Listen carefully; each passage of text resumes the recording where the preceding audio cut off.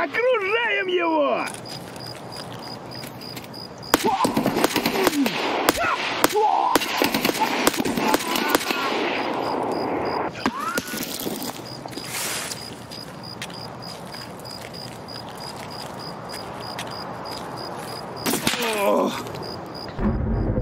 So I get my answer anyway.